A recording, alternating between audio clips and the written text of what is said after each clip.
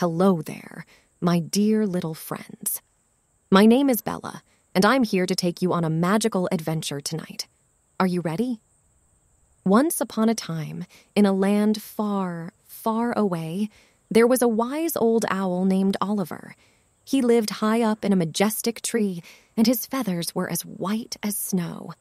Oliver loved sharing his wisdom and advice with all the animals in the forest.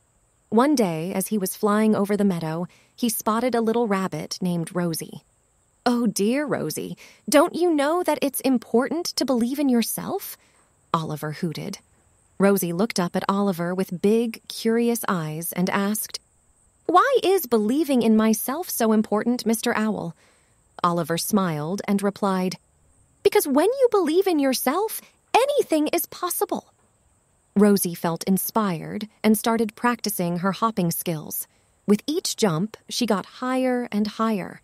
The other forest animals noticed Rosie's progress and cheered her on. You can do it, Rosie! they exclaimed. Rosie's confidence grew, and before she knew it, she could jump higher than any other rabbit in the meadow.